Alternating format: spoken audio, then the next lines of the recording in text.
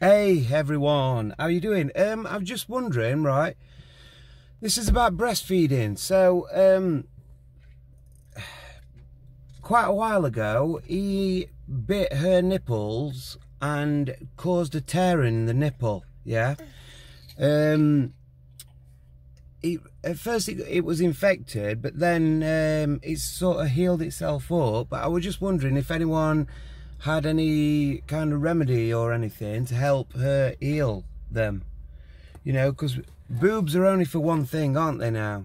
We've all been taught different, but um, I just wondered if anyone um, could help with this. She's been suggested um, the, what do you call it? The uh, sheep's wool oil. I, I can't remember the name of it, but um, if anyone could help us, I'd really, really appreciate it.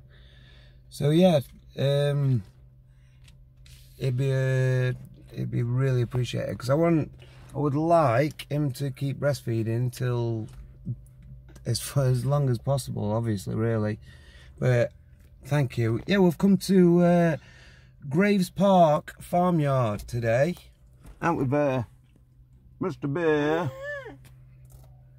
Uh, in Sheffield. So it's a nice place. Love you all, as always. Take care now.